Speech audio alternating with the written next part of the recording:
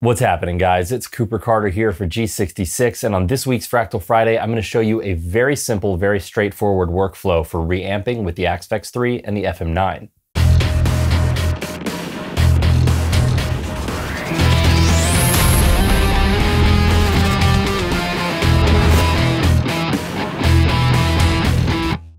So last week on Fractal Friday, I showed you guys a very simple workflow for recording a DI or the signal coming right out of your guitar alongside the fully processed signal that you're recording out of your Axe-Fx 3, FM9, or FM3. Now, I consider this a best practice for recording guitar because it always comes in handy to have a DI. If you guys missed that video, do make sure to check it out. It's in the link below in the description, and you guys can see just how easy it is to capture that DI. Now, one of the benefits of having a DI recorded is that if you decide that you don't like your tone later, or it's not working in the mix, or you want to add an effect, you can simply reamp your tone using that DI. And I'm going to show you guys a very simple workflow right now for reamping using the Axe-Fx 3 or the FM9. For the FM3, it's a little bit different of a procedure, and I can cover that in a future Fractal Friday. So let's get right into it. Okay, so here we are in Reaper, which is my DAW of choice when I'm recording with a Fractal product. You may be using a different DAW, but the workflow here is going to be very much the same. I've got three tracks here, a rhythm guitar part that I've recorded.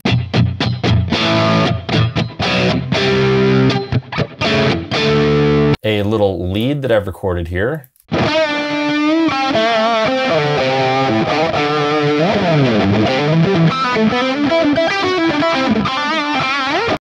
And the DI that I recorded alongside that lead.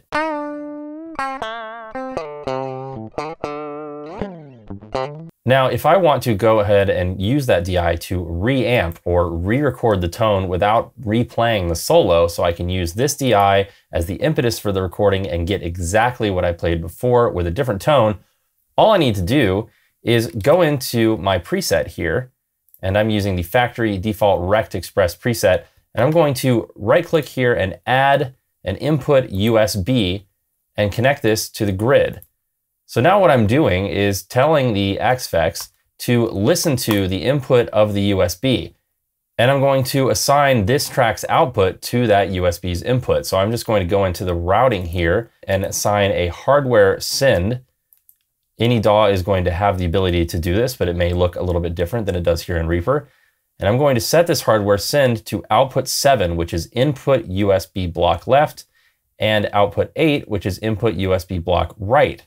So now this track is sending out to this USB input. So if I bypass this USB and I play this track soloed, you'll hear the DI.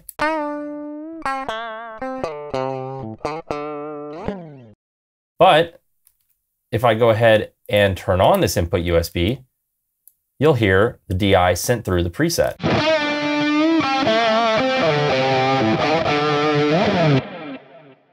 And just to show you that what we're hearing here is literally this DI being sent through the preset in real time, I'll hit play and go ahead and change some of the effects so that you can hear that I'm actually reamping the tone live here.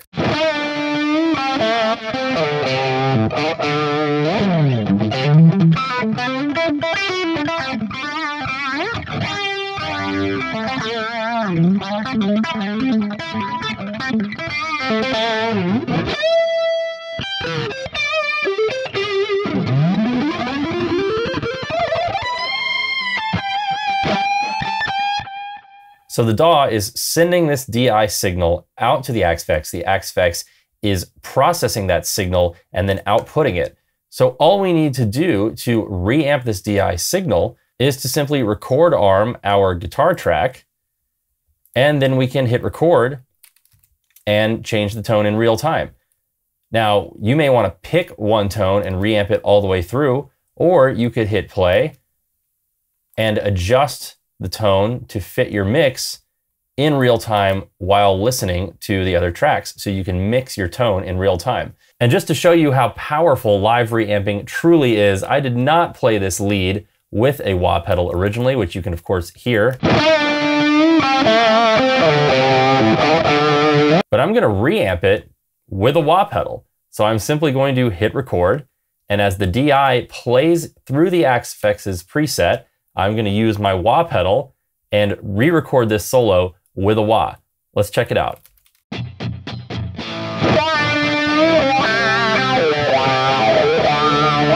Thank you.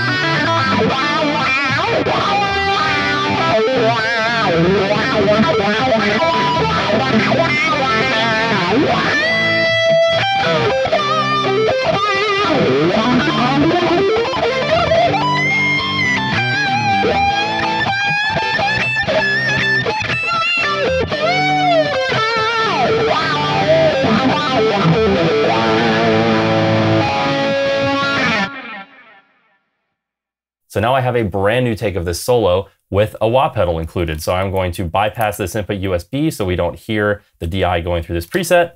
I'm gonna hit play and we can hear our solo with the brand new wah.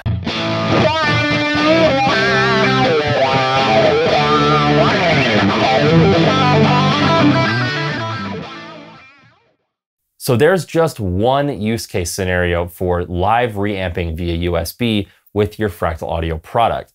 It really cannot be overstated just how powerful this feature is. You can live mix a guitar tone alongside your backing track. You can go back and replace a tone that you don't like. You can punch in on solos that have delay lines and then reamp them to get the delays perfect. There are so many different uses for reamping, and I hope you guys see that the setup is very, very straightforward. Now, some of you who are familiar with reamping in the Axe 3 or the FM9 or the FM3 may be wondering why I'm not setting my input one to globally listen to a digital output. I prefer to do this on a preset by preset basis because then you don't have to constantly switch back and forth between the digital and analog inputs when you're either recording or you're reamping. You can simply bypass or unbypass the input USB block, which I find to be a lot quicker.